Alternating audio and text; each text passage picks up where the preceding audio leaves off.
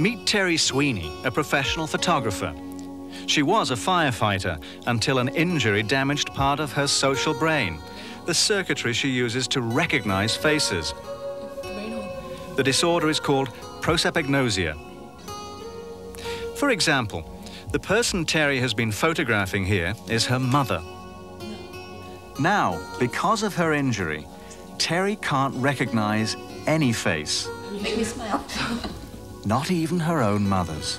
I'm really grateful you don't drink a lot of coffee. You'd be balanced. In this test, Terry takes a Polaroid picture of her mother. Terry, you just took a picture of your mother. And I want you to take a look at these and see if any of them are the picture you took or not. They may. Now, Massachusetts General Hospital researcher Dr. Nancy Etcoff shows Terry several Polaroids with only faces showing and asks Terry to pick out her mother. You know. Okay, if you had to guess, which looks to you the most like your mother? Just looking now, you can't tell which one of these. None of these really look like your mother to you. No. Okay. If you just cover up the face and I just look at the clothes, I can tell you.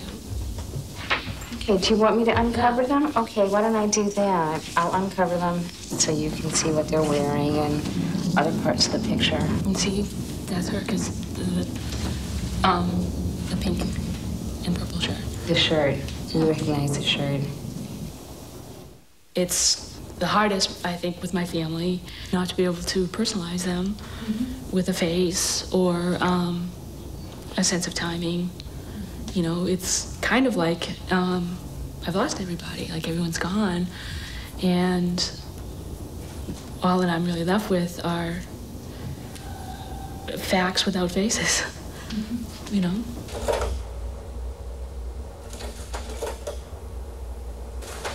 When Terry looks at these slides of famous faces, she can't recognize them, although other cues like hairstyle prompt a guess.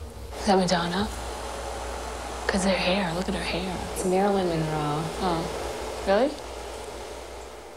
I always feel like I'm struggling and always feel like I'm fumbling through myself to find a connection, to find a bridge that'll just pull everybody right back all of a sudden. Can you tell who that is? No. Okay, if I said Bruce Springsteen. That's not Bruce Springsteen, is it? Why do you say that? This guy's ugly.